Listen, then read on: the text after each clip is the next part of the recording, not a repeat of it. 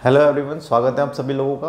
आज के इस वीडियो में हम शेयर फोर्स और बेंडिंग मोमेंट डायग्राम को डिस्कस करेंगे। तो सबसे पहले हम बात करते हैं कि शेयर फोर्स और बेंडिंग मोमेंट होता क्या है। तो जैसे सपोज़ हमने एक बीम कंसिडर किया है, ठीक है? इस बीम की जो लेंथ है सपोज़ वो एल है, और इसमें दो पॉइंट है ए और बी ये इसके फ्री एंड है, और फ्री एंड पे हमने सिंपली सपोर्टेड किया है इस बीम को, ठीक है? तो सिंपल सपोर्टेड पर रिएक्शन वर्क करेगी R A and R B ठीक है? और इसके किसी पॉइंट पर हमने डब्ल्यू लोड लगा दिया है ऐसे, ठीक है? अब ड्यू टू दिस लोड इस बीम में क्या हो सकता है? दो केस हो सकते हैं, या तो ये लोड ये ये जो बीम है, बीच में से शेयरिंग के थ्रू ब्रेक हो जाए, या फिर ये बैंड हो जाए, ठीक है? अगर ये ड्यू टू दिस लोड ये शेयर होके फेल हो जाता है हमारा बीम ठीक है?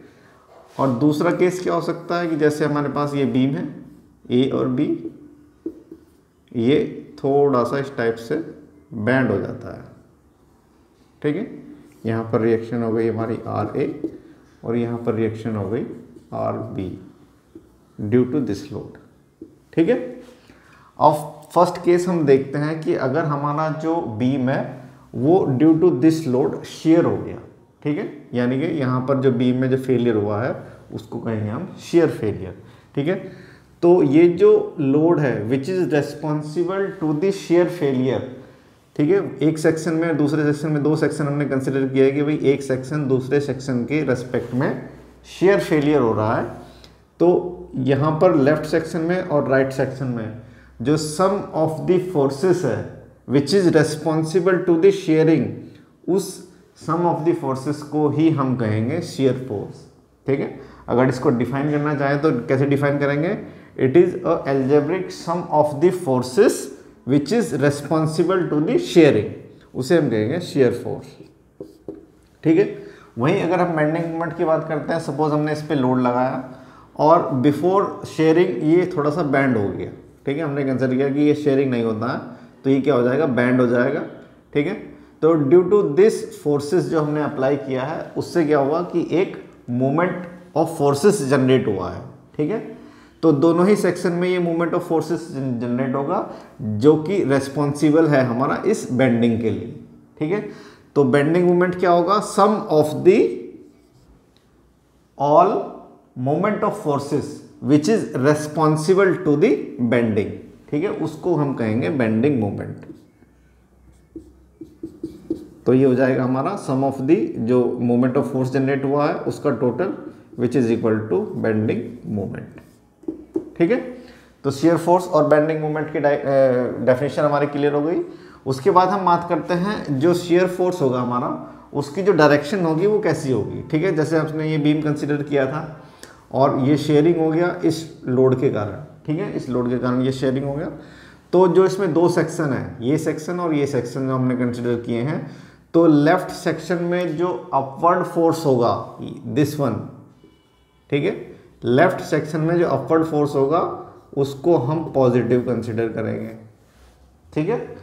और राइट right सेक्शन में जो अपवर्ड फोर्स होगा, उसको हम नेगेटिव कंसिडर करेंगे, ठीक है?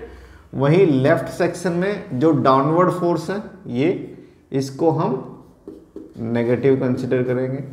और राइट right सेक्शन में जो डाउनवर्ड फोर्स है उसको हम पॉजिटिव कंसिडर करेंगे। ठीक है? तो ये रहेगा हमारा sign conversion of shear forces का। वहीं अगर हम बेंडिंग मोमेंट की बात करते हैं तो जैसे हमने ये कंसिडर किया था कि भाई ये सिंपल ए और बी एक बीम था, इसमें फोर्स लगाकर ये इस टाइप से बेंड हुआ है। ठीक है? अब ये जो बेंडिंग मूवमेंट जनरेट हो रहा है ए पे बी पे, या फिर हम कहें कि लेफ़्ट सेक्शन में और राइट right सेक्शन में किस टाइप का है? यहाँ पर हम देखते हैं कि ये क्लॉकवाइज बेंडिंग मूवमेंट हुआ है, या मूवमेंट ऑफ़ फोर्सेस जनरेट हुआ है बेंडिंग मूवमेंट वो क्लॉकवाइज है।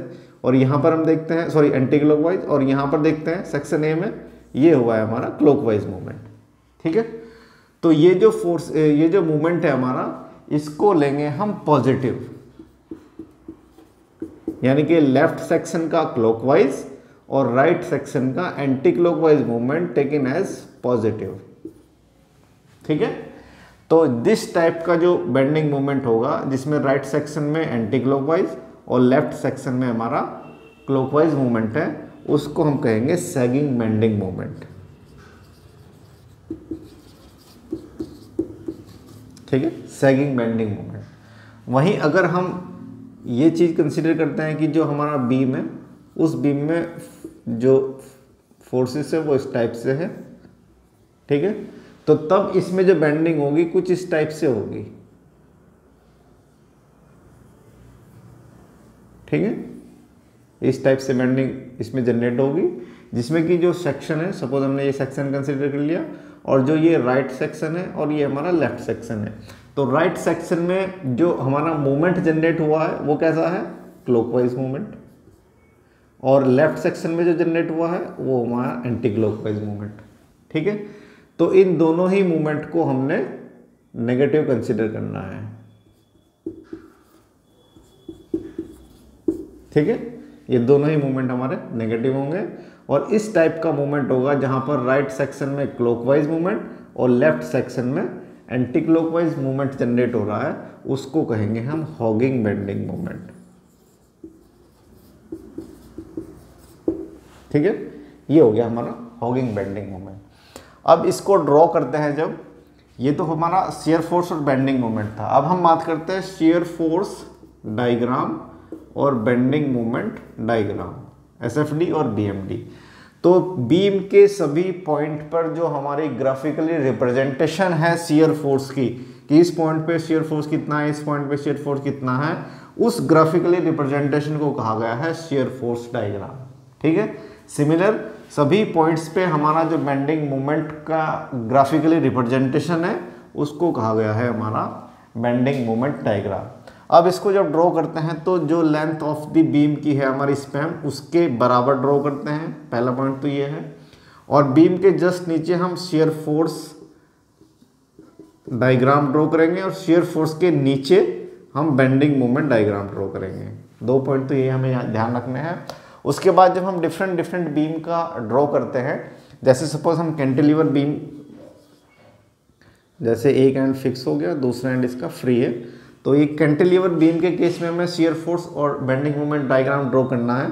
तो जो मैक्सिमम शेयर फोर्स होगा, वो हमारा फिक्स एंड पे होगा, ये हमें ध्यान रखना है। दूसरा, जो हमारा फ्री एंड है, वहाँ पर हमारा बेंडिंग मोमेंट ज़ीरो होगा और फिक्स एंड पे शेयर फोर्स मैक्सिमम होगा। ठीक है? दूसरा पॉइंट क्या है हमारा? जो हमारा सिंपली सपोर्टेड बीम अगर हम कंसिडर करते हैं इस टाइप से तो जहाँ पर सपोर्ट है हमारी, वहाँ पर बेंडिंग मोमेंट हमारा ज़ीरो होगा। ठीक है? बेंडिंग मोमेंट ज़ीरो होगा। वहीं अगर हम बात करते हैं कि जो ये जो बेंडिंग मोमेंट जनरेट हो रहा है, ठीक है? शेयर फोर्स और बेंडिंग मोमेंट दोनों ही अगर हम कंसिडर करते हैं कि जो हमारा लेंथ ऑफ़ द बीम है, या फिर हम कहें कि जो लोड ऑफ़ द बीम है, ठीक है? वो एक पॉइंट लोड है, ठीक है? दोनों ही केस में। जैसे मान लें, यहाँ पर पॉइंट लोड है सिंपल सपोर्टेड में, या फिर यहाँ पर पॉइंट लोड है कैंटिलीवर के केस में। तो उन दोनों के पॉइंट के बीच में जो हमारा शेयर फोर्स होगा, वो एक स्ट्रेट लाइन होगी, ठीक है? यानी जैसे सपोज़ यहाँ से यहाँ तक का जो फोर्स है, वो इस टाइप से स्ट्रेट लाइन होगी। उसके बाद यहाँ पर फोर्स जनरेट हुआ है या इंक्रीज हुआ है या डिक्रीज हुआ है, वो एक दूसरी बात होगी, ठीक है? तो इस टाइप से हमारा जनरेट होगा, अगर पॉइंट लोड है, ठीक है? अगर हम बात करते हैं बैंडिंग मूवमेंट की तो दोनों ही जो पॉइंट लोड है, उनके बीच में जो बैंडिंग मूवमेंट हम ड्रॉ करेंगे, वो इंक्लाइन लाइन ड्रॉ करेंगे इस टाइप से। अगर नेगेटिव है तो ऐसे, और पॉजिटिव है तो ऐसे इस टाइप से, ठीक है? वहीं अगर हम बात करते हैं यूडीएल की यूनिवर्सल डिस्ट्रीब्यूटेड लोड चाहे वो कैंटिलीवर के केस में हो या फिर हमारा सिंपल सपोर्टेड बीम के केस में हो, ठीक है? तो अगर हमारे पास यूडीएल दिया गया है बीम में तो जो शेयर फोर्स होगा वो एक इंक्लाइन लाइन होगा, जैसे मान लें इसका ड्रॉ करते हैं हम तो ये शेयर फोर्स हमारा इंक्लाइन लाइन होगा ऐसे, ठीक है? वहीं अगर हम बेंडिंग मूवमेंट की बात करेंगे तो यूडीएल के केस में हमारा बेंडिंग जो मूवमेंट होगा, वो एक कर्व होगा इस टाइप से। ठीक है? वहीं अगर हम बात करते हैं कि अगर हमारा लोड यूनिफॉर्म वेरिंग लोड है, ठीक है? तो जो हमारा शेयर फोर्स डायग्राम होगा, वो पैराबोलिक होगा second degree parabolic in second degree और जो बेंडिंग मोमेंट डायग्राम होगा हमारा, वो पैराबोलिक इन थर्ड डिग्री ठीक है? तो ये कुछ मेन पॉइंट थे जिसकी हेल्प से हम शेयर फोर्स और डायग्राम को ड्रॉ कर सकते हैं. Thank you